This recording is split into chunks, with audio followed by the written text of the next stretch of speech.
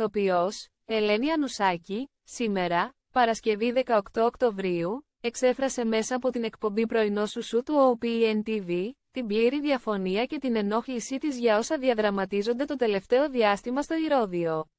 Συγκεκριμένα αναφέρθηκε σε δύο πολύ γνωστές προσωπικές. Υπενθυμίζουμε ότι, τον προηγούμενο μήνα, την 3η 25 Σεπτεμβρίου, κατά τη διάρκεια της μουσικής βραδιάς που ήταν αφιερωμένη στα τραγούδια του ελληνικού κινηματογράφου, ο υποψήφιος πρόεδρος του ΣΥΡΙΖΑ, Απόστολος Γκλέτσος τράβηξε τα βλέμματα όταν ανέβηκε στη σκηνή για να χορέψει το ζεϊμπέκικο της Ευδοκίας, ένα από τα πιο εμβληματικά κομμάτια. Η κίνηση αυτή από κάποιους αποθεώθηκε, αλλά από άλλους, θεωρήθηκε άκρος προσβλητική, υποστηρίζοντας ότι δεν σεβάστηκε τον ιστορικό χώρο του θεάτρου.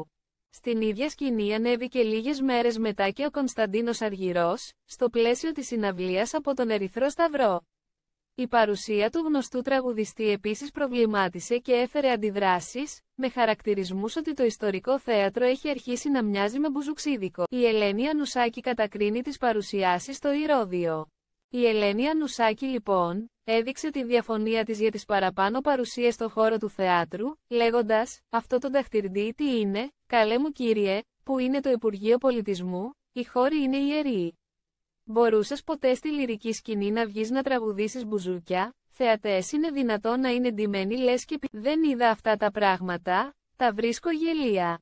Ο μεγάλος Τσιτσάνης δεν θα επέτρεπε τις γιούχες εκεί μέσα. Αυτοί θα πρέπει να μην πατάνε στο ηρώδιο. Όταν μεγαλώνουμε, θα πρέπει να σκεφτόμαστε περισσότερο τι πρέπει να πούμε.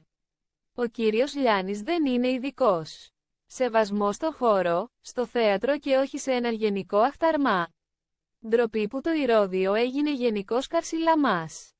Οι αντιδράσεις του Ποσειδώνα Γιαννόπουλου και του Γρηγόρη Πετράκου για το ηρώδιο.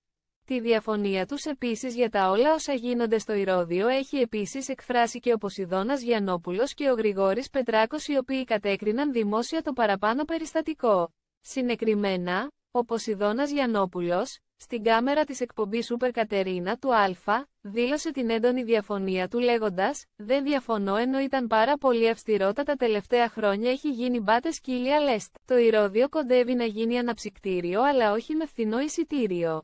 Μην τα κάνουμε όλα ίσιωμα. Η Άννα Βύση πολεμούσε να της δοθεί το ηρώδιο 20 χρόνια, αναρωτιέμαι αν έβγαλαν και τα μαντήλια.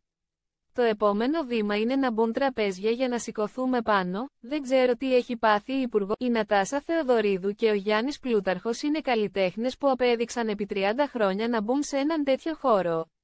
Δεν μου άρεσε το πλάνο να βλέπω τον Απόστολο Γκλέτσο να χορεύει ζεϊμπέκικο στο Ηρώδιο.